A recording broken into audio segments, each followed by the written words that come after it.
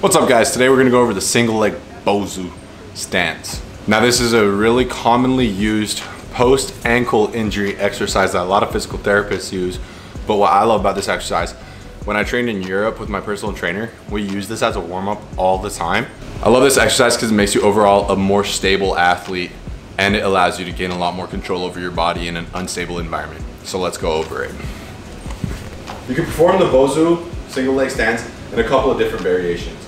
For beginners, I recommend flipping the unstable side towards the floor and standing on the flat surface to begin with.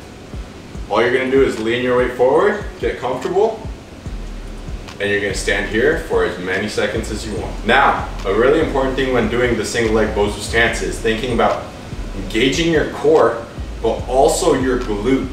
Your glute is a huge stabilizer and one of the biggest muscles in your body actually the largest muscle belly inside your body.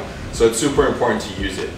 Now, the other big thing is focus your eyes on one area. Don't try and look around the room. That'll cause you to shake. Focus your eyes on one simple thing and just hold your balance. Now when you master this, you can do this. Now the other surface is a lot more imbalanced for your ankle, so it's gonna cause a lot more movement around your ankle joint, and all you're trying to do is just stabilize it. Having your leg backwards, I find it to be easier. And as you get more advanced, try and bring that leg up to 90 and stay static. That is the single leg Bosu stance. I highly recommend it for all athletes. Give it a try and let us know what you think.